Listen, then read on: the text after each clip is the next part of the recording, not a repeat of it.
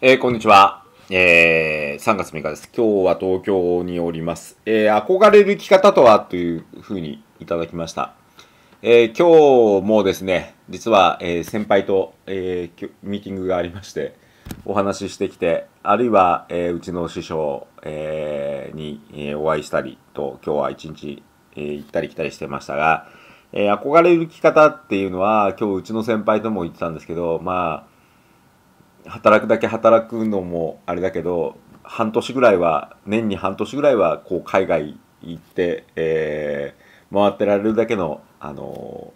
ーまあ宿題もしながら、えーそういうふうにいられるっていう生活をやりたいなっていうのを、えうちの先輩と今日も言っておりました、えーまあそんなところが憧れる生き方かなというふうに思っております、えーまた明日、えー、送り出そうと思います。では。